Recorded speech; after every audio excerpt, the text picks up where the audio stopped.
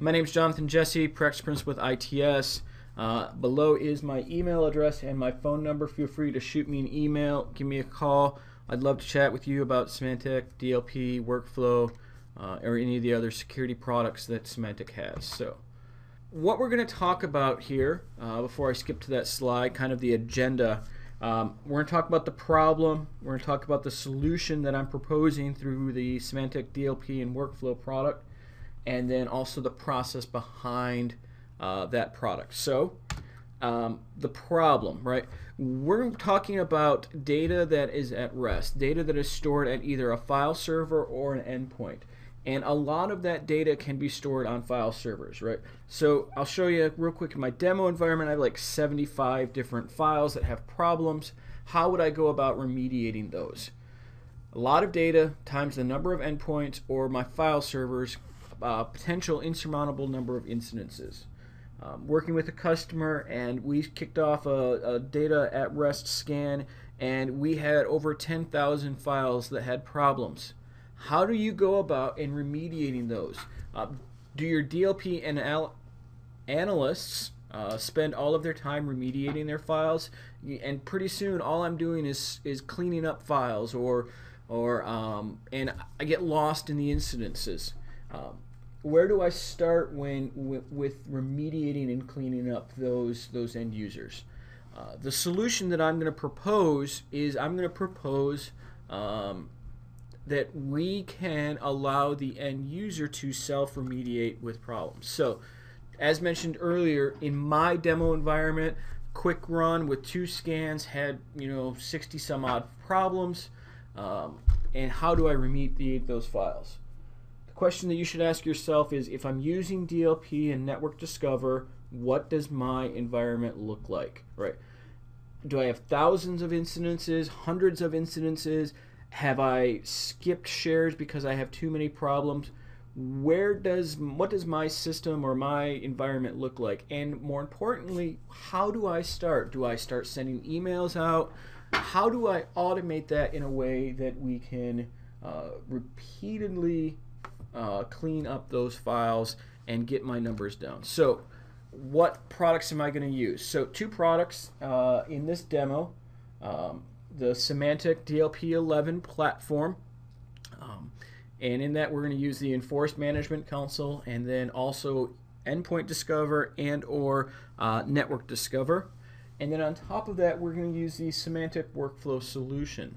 So if you are a current owner of a Symantec product, whether that's DLP or Altiris, you are entitled for the Symantec workflow solution. So we'll talk briefly about that. We'll talk about um, how we can go about remediating those uh, and what's going on.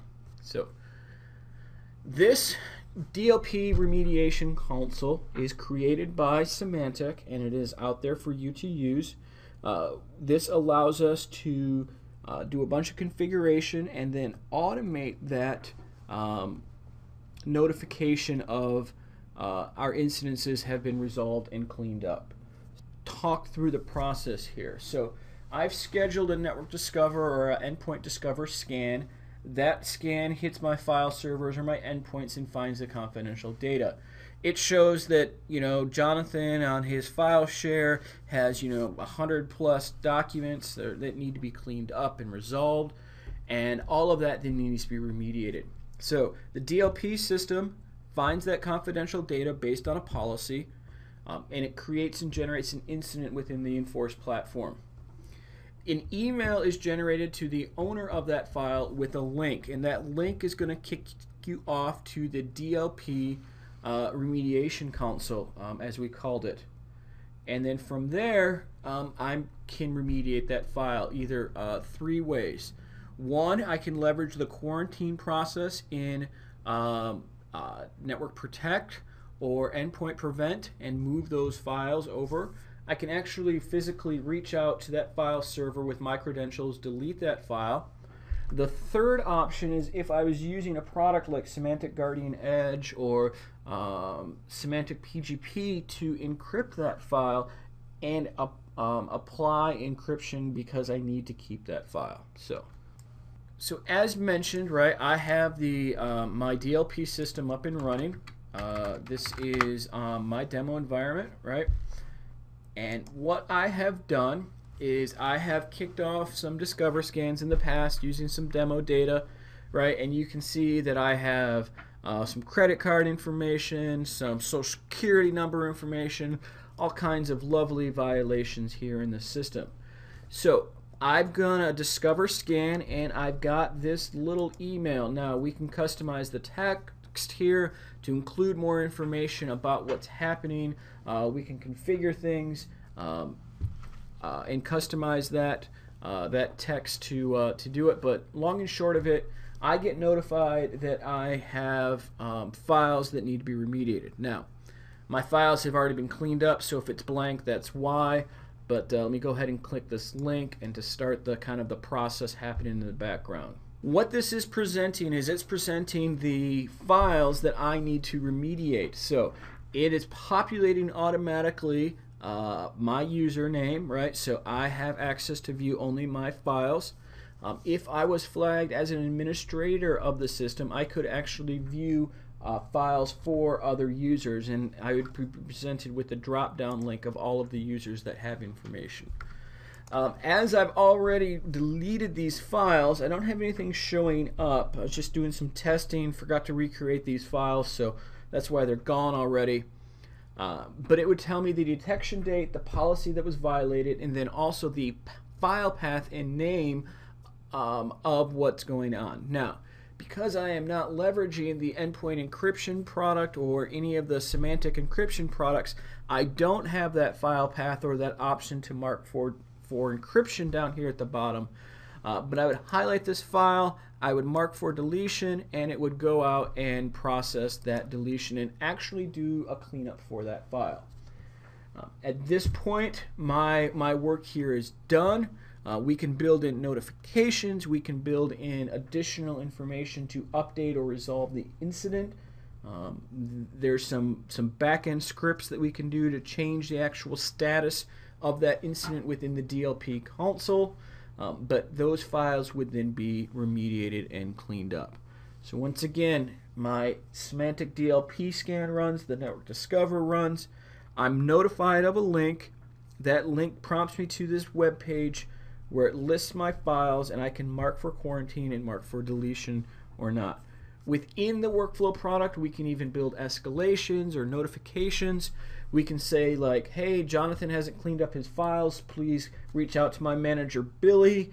And uh, Billy then gets notified that Jonathan hasn't updated his, his or cleaned up his files. All kinds of fun things that we can do within the uh, Symantec workflow product. So now I'm going to flip screens here, so hopefully uh, everything stays with me for a minute.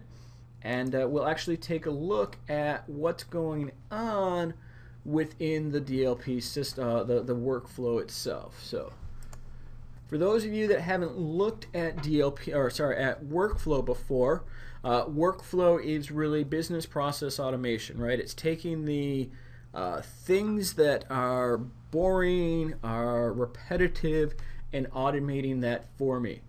Um, this workflow is available through Symantec. It's not something that ITS has created. It is something that the business uh, workflow business practice group has created, um, and it allows me to then um, uh, walk through creating my my my project and everything. So let's kind of talk our way through. Right, everything in workflow has a start and an end. We can see here. Let me zoom out a little bit everything, excuse me, is walking through this process, right? When I um, when I connect to my web form, it's going to get all of the incidences by my um, owner. It is going to list those files. It's going to update that file owner, and then based on the items that I have here, I can either encrypt, delete, or quarantine those items. This is presenting all of the process that, that we saw in that web form um, and it's laid out and allows me to customize those information. I can come in and edit these and I can make this customized for my own environment. Maybe I have um, particular uh, logos or screenshots or maybe I have a theme that I want to prepare uh, apply all kinds of stuff that I can get in to customize and build this for my own environment. I'm not going to save any changes because I haven't made anything here. All right, so delete the selected files, right? We can actually see exactly what's happening, and, and this is editing and that, um, that deletion. It's creating these these web forms for me is working through the process. A couple of other items that I want to show within this um, within this workflow is that we both have a testing uh, wizard that verifies that we have things set up, and we also have um, a setup wizard that will walk us through once we get this product installed. Uh, as you can see, I already have the DLP system installed and configured, so I can't uh, build this information out, but um, you can see how I can set up in those tests those settings, and I can also then uh, execute several tests test that I'm connected to email and have everything set up, test my database to retrieve incidences from those databases and to uh, update those. Rumskins, this is all test data, verifies my connection is, is correct, and then also the error notification. The uh, flip screens again here real quick, so hope you don't mind. Um, the other thing I want to talk about real quick as my session times out is we have all of these properties within the workflow system that we can come back and edit and change once we um, once we have everything configured and set up. So you see a couple of items here that we would have to customize for our environment. Um, the console, our, our mail server, our quarantine information, um, the, the connection back to our database, um, all of those, all of this information here, um, we can customize once the system has been scanned and set up. Once again, the beauty of a workflow like this is that it allows us to automatically remediate I'm sorry, let me back up. It allows our end users to remediate um, DLP incidents found through either Network Discover or Endpoint Discover. So let me re back up to my slides. All right, once again, automation, right? Endpoint Discover or Network Discover runs, an incident is created, the owner of that file then is allowed to remediate that automatically, freeing up my analysts or the people in charge of my DLP system to um, focus on DLP, focus on managing those incidents, treating those incidences as well. That's all I got today, so I want to thank you for spending your time with me. Thank you for uh, joining. Have a great day.